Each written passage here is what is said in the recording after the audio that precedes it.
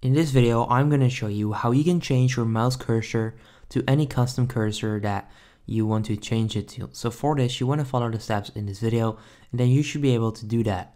Now you want to open a browser and go to google.com, and then you want to search for the Chrome Web Store.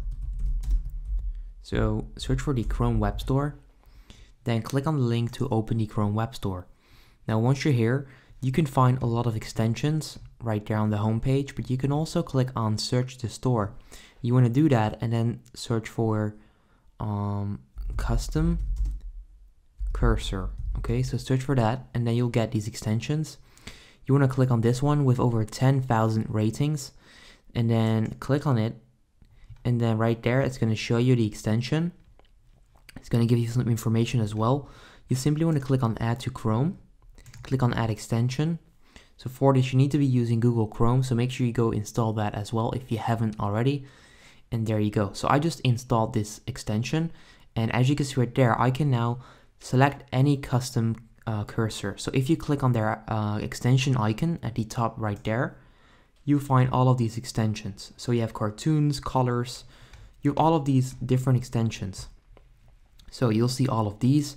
You can also click on more cursors and then they'll send you over to all of their packages. As you can, as you can see right there, uh, you can choose all of these. If you want to add some of them, you simply want to click on add right there and it's gonna add it. So let's say I want to choose Starbucks rainbow drink.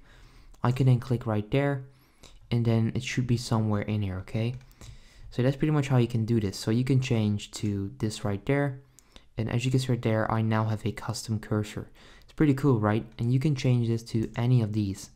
So right there, you have this one, food and drinks. That's the Starbucks one I just selected.